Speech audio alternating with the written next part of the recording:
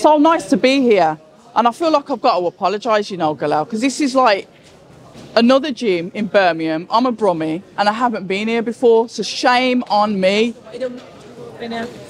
Waiting and it's just like, you know, it's just like, you've been here now, isn't it? I'm here now, and what a beautiful club this is. I'd like to know if it's all right with you, just a little bit of a history about it, because I was speaking to your brother earlier, and he was like, we used to live at the back of it, we used to go school in front of it, and then this was the boxing gym.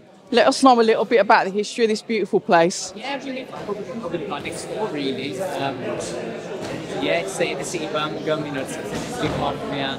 Um, yeah, we started up here. Um, okay. Bluetooth, yeah. There are you. Yeah.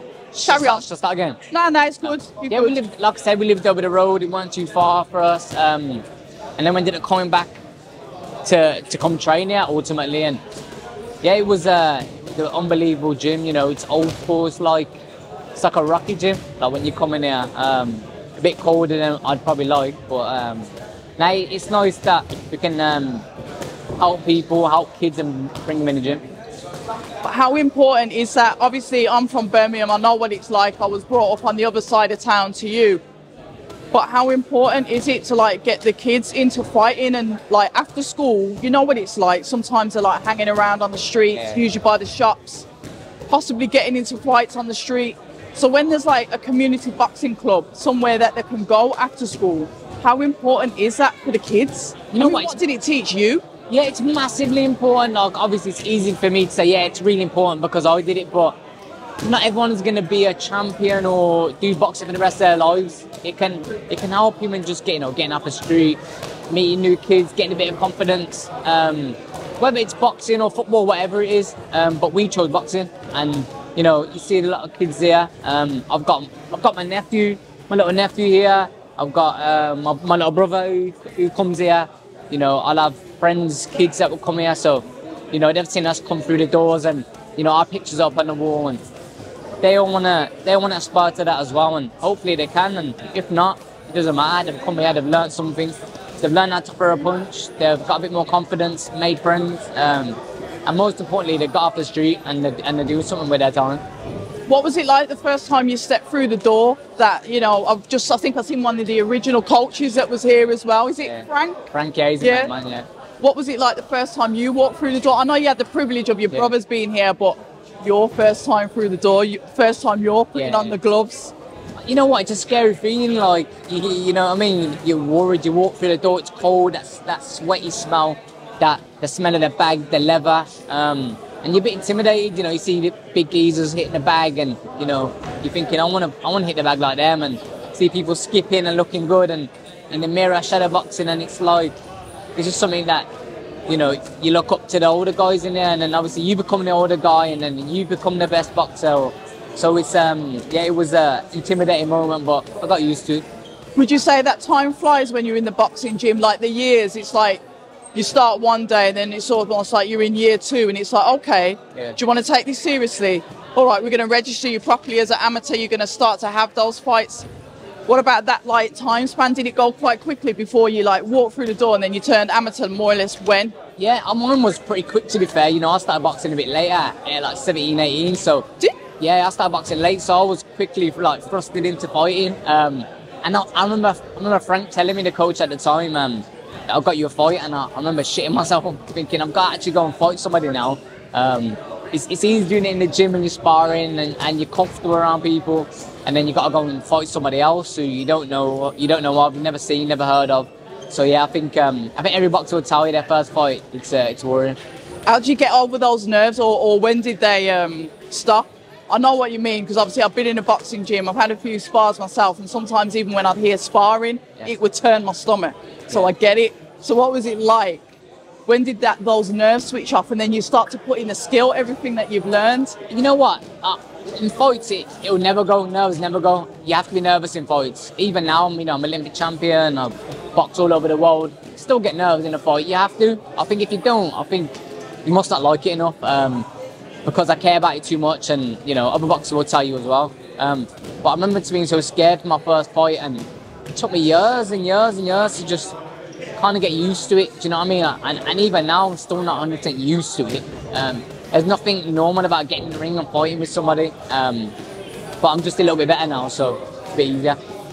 Just a bit better. It's a bit better. Medalist, Yeah. the only one, just a bit better. Nah, yeah, thank God I'm a little bit better. Did you feel bad like leaving the gym when you had to go over to GB? Was it like a bit of a sad moment because you're used to your coaches and then it's like, right, pack your bags.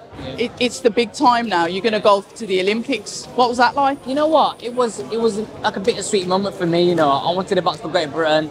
To box for Great Britain, you have to go to Sheffield and train there. Um, so yeah, everyone was happy for me. I was happy. Um, I don't I don't mind where I train. You know, I've been here for years, and Frank had helped me to get to that position.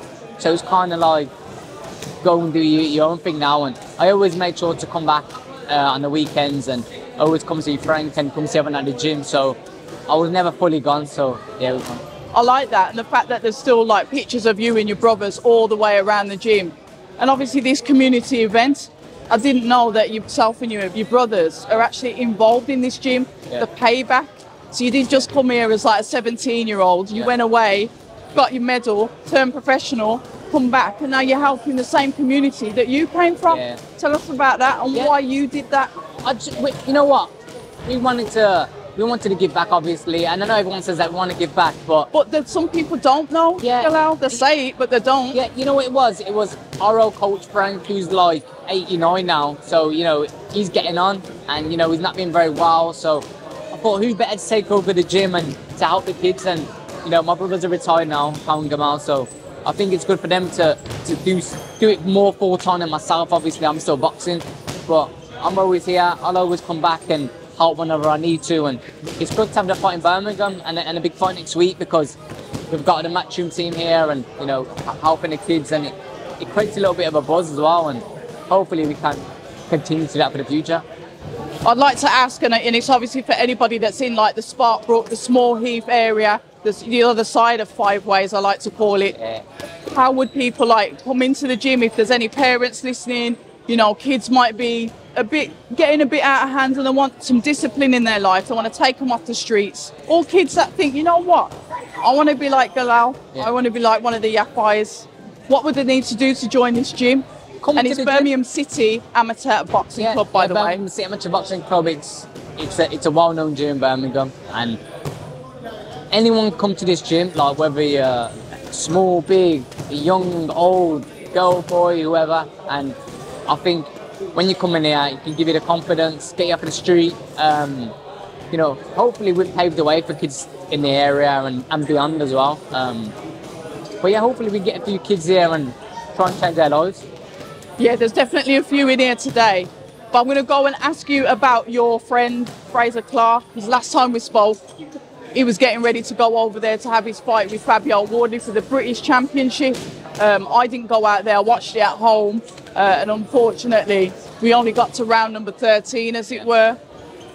What was it like for you to watch that? Because, like I said, you two were like Yeah, yeah. very close. So, what was that like for you? Yeah, you know what? It was horrible to watch. Obviously, he's one of my best mates. Um, it was sad to watch, but it's one of the things that can happen in not just heavyweight boxing, but boxing overall, and more so in his weight. He's a heavyweight. They can pack a punch, um, so it's dangerous. Um, to be fair, I actually saw him today. Come up to Sheffield to, to watch me train, so it was um, it was good to see him. We always keep in contact, and um, hopefully we're back soon. And if he can, he can dust himself off and uh, just, carry on. And the main thing is, yeah, we're not always going to win, but he's trying. He's he's done well. He's an Olympic medalist, and hopefully he can do the best he can as a pro and do well. Um, but hopefully, just you know, keep his head up and he just does well. Yeah, I'm looking forward to seeing him come back, and obviously I do need to catch up with him as well. I'd also like to ask you about uh, Ben Whitaker's fight. Obviously, another GB member, another Olympic medalist, silver. Talk to us about that fight and, and, and just where it went wrong. And it's from a fighter's point of view. Obviously, it takes a fighter to tell the full story, the real story. But I haven't caught up with Ben yet. So, when you're watching it, Galal, what did you see? You know what? You could, I couldn't really see properly. I don't know if I know he obviously got injured. The guy fell on top of him. No one really knows how injured he was, and I know people have given him stick and whatnot. But I know Ben more personal, and he's a friend of mine as well, and he's a top fighter. Like I'll tell anyone straight, Ben was one of the best kids on GB. Technically, he was probably the best. there was probably two or three of them that were the best, and he was up there. Um, technically, he was unbelievable. Um, do I think he beats him if he fights him again? I do think he beats him. Obviously, he needs, he needs to make sure he's training properly, um, and I think his levels above him. Um, but Liam Cameron's a good fighter too. He's no mug. Um, he's a good fighter. Um, you, you seen he had a close fight with Lyndon Arthur. Um, he's got experience, and I just think Ben, he's a top fighter, and hopefully he can show that in the future and prove everyone wrong.